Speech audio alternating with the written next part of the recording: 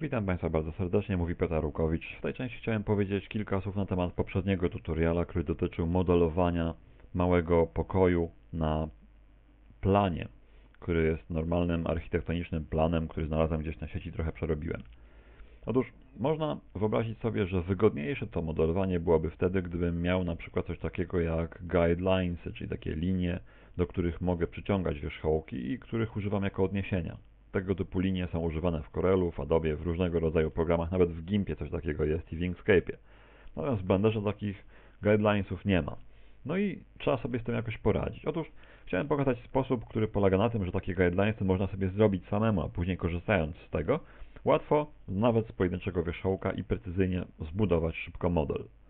Więc, żeby dodać takie guidelinesy, trzeba na początku wczytać obrazek w tło, na którym jest nasz plan. Tutaj ten plan mamy. Jak już wczytałem, jest odpowiednio przeskalowany. Jak widać, jest ustawiony mniej więcej jakoś tak w siatce, chociaż to nie jest tutaj istotne, bo guidelinesy będziemy mieli dociągnięte do samych krawędzi na planie. No a teraz, żeby takie guidelinesy dodać, trzeba przede wszystkim wstawić zwykłego plane'a.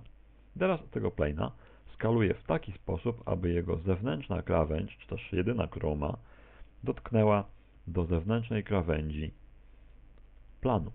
I teraz krawędź prawa tego planu już jest dopasowana, natomiast niedopasowana jest jeszcze krawędź dolna, krawędź lewa, zaraz zobaczymy, też jest niedopasowana, no i oczywiście górna. No więc w tym celu, żeby je dopasować, przełączam się do trybu edycji, przełączam się do trybu zaznaczenia krawędzi, ja tę krawędź ciągnę w dół, aż obejmę zewnętrzną krawędź planu. Mogę ustawić tę krawędź bardzo równo, na dużym powiększeniu. To jest na razie tylko coś, co będzie mi obrysowywało cały mój obiekt, który mam zbudować. Poprawimy sobie teraz tę krawędź. Przy okazji, to jest jedna taka dosyć denerwująca rzecz, która mi się zbytnio nie podoba, którą można byłoby poprawić w Blenderze, mianowicie chodzi o to, że nie mogę zaznaczyć krawędzi, jeżeli nie jest widoczny chociaż jeden jej wierzchołek.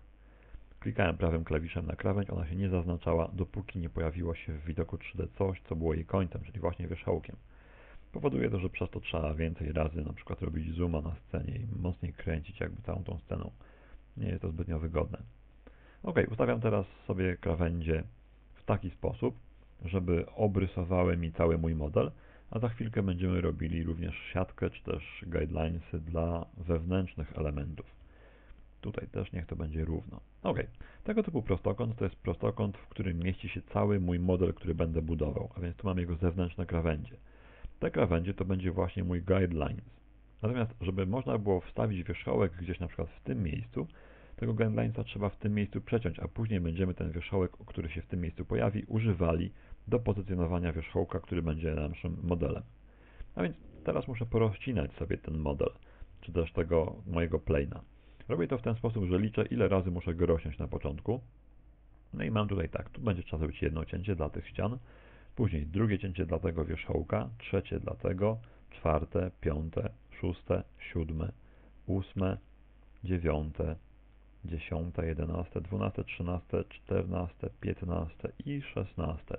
I jeszcze tutaj siedemnaste. Siedemnaście razy muszę przeciąć tego plane'a po to, aby ustawić wszystkie linie poziome które będą wyznaczały mi położenia cięć i ważne miejsca, w których mają znaleźć się wierzchołki, a więc rozcinam.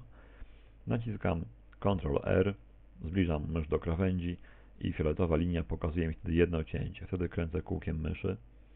No i niestety nie bardzo widzę tutaj, na ile krawędzi będę miał pocięty ten mysz. Nie ma sensu ich liczyć, bo można się pomylić. A więc robię tak. Naciskam Ctrl R i wstawiam jeden podział. OK? Potem Escape no i niestety tutaj nie ma czegoś, co spodziewałem się znaleźć, mianowicie tutaj powinna być ilość rozcięć. No niestety to się nie udało w tym momencie, ale możemy zrobić jeszcze inaczej. Zaznaczam te dwie krawędzie i te dwie krawędzie rozcinam przez subdivide. To powoduje, że dzielą się one na pół dokładnie i mam tutaj jedno rozcięcie dokładnie. Ponieważ mam tych rozcięć wstawić 17, mogę zwiększyć ich liczbę i osiągnąć dokładnie ten sam efekt. Na razie mam 10, może zróbmy tak, że zrobię sobie na początku 5 i teraz kolejny raz zrobię subdivide'a. No i teraz już mam 10, ponieważ ich ilość się podwoiła. Zróbmy sobie jeszcze jedno rozcięcie i teraz zobaczmy ile ich tutaj jest. Może tak, raz, dwa, trzy, cztery, pięć, sześć, siedem, osiem, dziewięć, dziesięć, jedenaście, dwanaście, trzynaście, czternaście, piętnaście, szesnaście, siedemnaście dokładnie i dodamy sobie jeszcze jedno rozcięcie, osiemnaste, ponieważ miało być chyba osiemnaście, o ile pamiętam. Nie jestem taki pewien, ale zobaczymy za chwilę. No i teraz trzeba poustawiać sobie te linie w takim miejscu, żeby pasowały idealnie do naszego modelu. A więc pierwsza linia tutaj, teraz ta, która stoi tu powinna być w tym miejscu, a więc te wszystkie musimy jakoś w miarę mocno ścisnąć, żeby było z czego wybierać. Więc na początku je przeskaluję w osi Y, żeby były blisko siebie. I teraz weźmie sobie tą jedną i ustawię ją równiusieńko w tym miejscu. Powiedzmy, że to będzie dobre miejsce. Można powiększyć, wyrównać idealnie przez GY. Gdzieś w tym miejscu powinna stać taka oś. Następnie biorę kolejną oś GY, ustawiam ją w miejscu kolejnego rozcięcia, o tutaj. Interesuje mnie ten punkt. GY pozycjonuję prawidłowo, żeby było wszystko gotowe. Teraz biorę kolejną oś z moich, powiedzmy sobie, linii wiodących, czy też guidelinesów. Ustawiam ją w tym miejscu, no i znowu muszę powiększyć, aby to zrobić w miarę równiutko. Oczywiście im będę miał lepszą mapę, im lepszy będzie plan, im bardziej ostry, wyraźny, tym będę miał tutaj większą precyzję. Gdybym miał taki plan w pliku SVG, to wczytałbym go jako wektor i wtedy mógłbym taką linię wyrównać nawet do pojedynczego wierzchołka. To byłoby super precyzyjne wtedy. No ale mam tutaj zwykłą bitmapę, jak widać po tych ząbkach. Ok, tak postępując robię sobie mapę dla wszystkich ważnych punktów, przynajmniej jeżeli chodzi o linie poziome. Dodaję teraz tutaj jedną linię cięcia, chodzi o ten wierzchołek. G, Y gdzieś tu prawdopodobnie się przecinają, o ile moje oko jeszcze coś jest warte. Kolejna linia będzie stała tutaj. Znowuż na powiększeniu można sprawdzić, no może tu gdzieś. I teraz kolejną linię dodam jeszcze wyżej, to będzie teraz ta linia, nie, to będzie ta. Jeżeli którejś zapomnę, to później zawsze mogę wstawić jeszcze dodatkowe polecenie, czy też rozcięcie za pomocą Ctrl R. Ta linia będzie gdzieś tutaj. Jak widać jest to dosyć żmudny proces, ale siatka, którą tworzę w ten sposób będzie później doskonałym odwzorowaniem miejsc, w których mogę ustawiać wierzchołki. Ok, tak postępując zrobię sobie całą siatkę, a później trzeba zacząć robić, że tak powiem, krawędzie, które są pionowe, a więc rozcinam siatkę kolejny raz. Gdybym już miał oczywiście te wszystkie krawędzie porozstawiane, ale teraz nie będę tego robił ze względu na czas, żeby nie przedłużać. Więc gdy rozetnę sobie w pionie, ustawiam na tych wierzchołkach, na których ma być rozcięcie w ważnych miejscach, linie pionowe. GX pozycjonuję i chodzi mi o to przecięcie. To jedno przecięcie jest dla mnie ważne, cała reszta może być zignorowana. Teraz przygotowując w ten sposób siatkę, mogę zrobić bardzo dokładną mapę wszystkich rozcięć. Naciskam Ctrl R, przesuwam rozcięcie, znaczy naciskam Ctrl R, klikam i wtedy dopiero przesuwam rozcięcie, aż dostanę krawędź we właściwym miejscu i tak.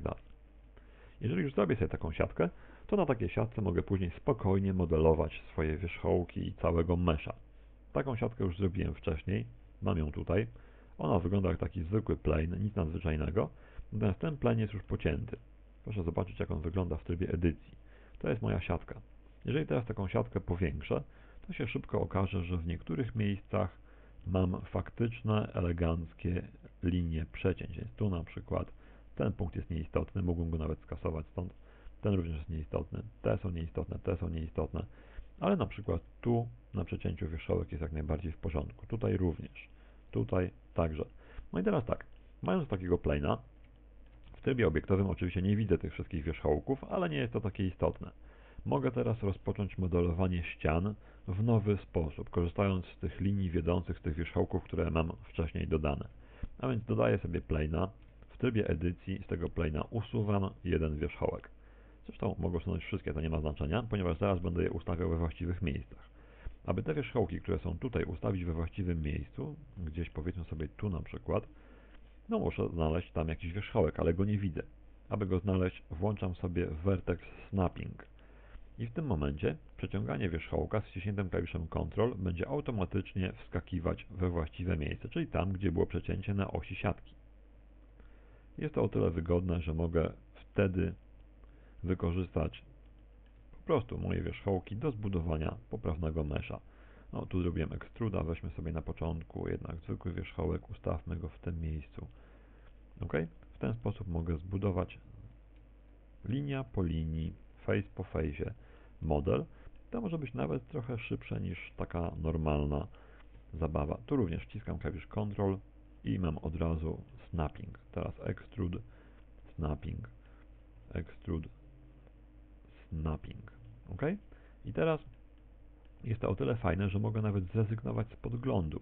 Mogę teraz nacisnąć klawisz E, później X i z klawiszem Ctrl znajdę ten wierzchołek, który w tym miejscu na mojej siatce poprzedniego mesza stoi. Jednak lepiej zrobić to w widoku z góry. Wtedy przynajmniej widać, co się tutaj dzieje. Biorę sobie następny wierzchołek, z klawiszem Ctrl szukam miejsca, ale tu go nie znajduję, bo tu go oczywiście nie ma. Mogę sobie zrobić go i postawić gdzieś w tym miejscu. Tutaj również szukam klawiszem Ctrl. O, wydaje mi się, że go tutaj nie było. Tu mi coś wskaczyło. To jest złe miejsce dla wierzchołka. No, widzę, że tu będzie trzeba poprawić moją siatkę, więc klikam, wchodzę do trybu edycji, no i widzę, że brakuje mi tutaj jednego rozcięcia. Dodaję to rozcięcie, ustawiając je precyzyjnie, tam gdzie ma być. GY gdzieś w tym miejscu powinno być, tak mi się wydaje. No i teraz mogę wrócić do modelowania mojego poprzedniego obiektu, a więc robię snapping i już jest wszystko w porządku. Dobrze. Teraz widzę, że tu by się przydało jeszcze jedno rozcięcie, no więc może sobie po prostu zwyczajnie przetnę tę płaszczyznę na dwa elementy. Te dwa elementy rozciągnę.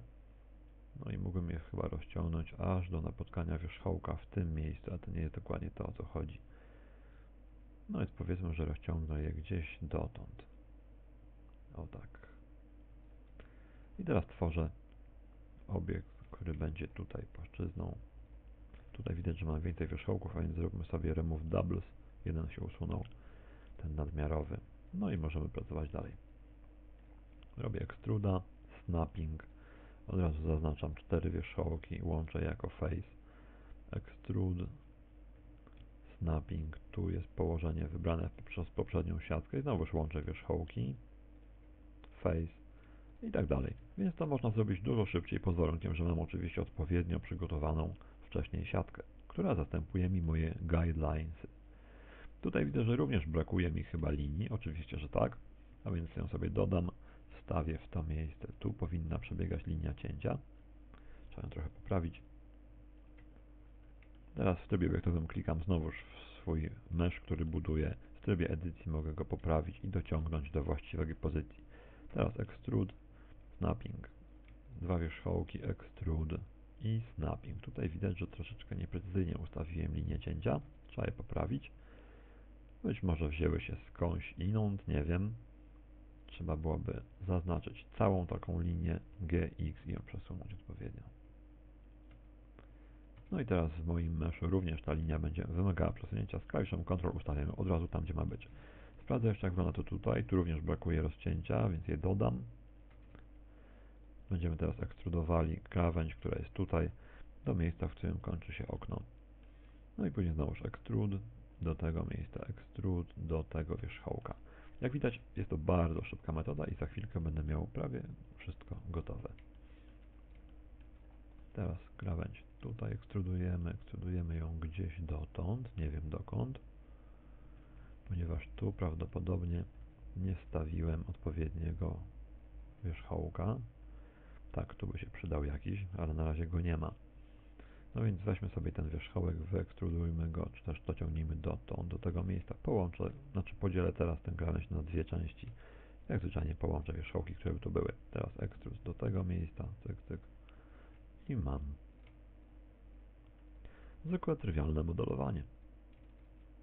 Weźmy sobie krawędź, ekstrud. Tu jest jakiś wierzchołek w porządku, już go mam. Znowu tryb wierzchołków, ekstrud do tego miejsca, ekstrud do tego, zaznaczam, tworzę krawędź. Tutaj robię ekstruda do tego miejsca, ekstrud do tego. No, tu nie muszę ekstrudować, wystarczy tylko, że kliknę, połączę je, od razu mam. Tutaj robię ekstruda, tutaj. I tak samo z tym. Tak samo z tym wierzchołkiem, tylko trzeba wybrać odpowiedni. Tu widzę jest jeden tylko jest krzywo. No więc tutaj jest pewna, pewien brak precyzji. Trzeba by sprawdzić dokładnie, jak to było zrobione wcześniej. Widzę, że to jest w miarę dobrze, tylko ten mój mysz niestety tutaj jest krzywo. Ustawmy go prawidłowo. Teraz tego ustawmy również w miejscu, gdzie jest wierzchołek. Tu jest jeden. O, ten, od niego chodziło właśnie. Dobra. Ten będzie stał w tym miejscu. No i zostaje już chyba ostatnia ściana, tak jest, a więc mogę połączyć je po prostu, klikając, naciskając F. I gotowe. Zajęło to o wiele mniej czasu. Teraz mogę mojego, że tak powiem, guidelinera usunąć albo ukryć naciskając klawisz H. I teraz można śmiało robić ekstruda z fundamentów, które właśnie zrobiliśmy. Przy okazji widać, że on jest taki dziwny troszeczkę, ten nasz model, ponieważ w jednym miejscu jest takie dziwne rozcięcie. Pierwsza rzecz to to, że na przykład fragment, który jest tutaj, jest cieniowany w stylu flat. Jest to to cieniowanie, które ma na zakładce shading. Natomiast pozostałe ściany w tym meszu są z jakiegoś powodu cieniowane w trybie smooth, a więc takim gładkim. Gładki polega na tym, że krawędzie łączące dwie ściany nie mają różnych kolorów, tylko gradientowo robi się tam kolor taki sam. No więc, żeby poprawić taką sytuację, wystarczy nacisnąć guzik flat przy zaznaczonym obiekcie i mamy od razu cieniowane wszystko płasko. No i to jest właśnie to, o co chodzi. Ok, więc w ten sposób również można wymodelować obiekt, korzystając z przygotowanej wcześniej precyzyjnej siatki. Jest to być może metoda nawet szybsza. Dziękuję za uwagę.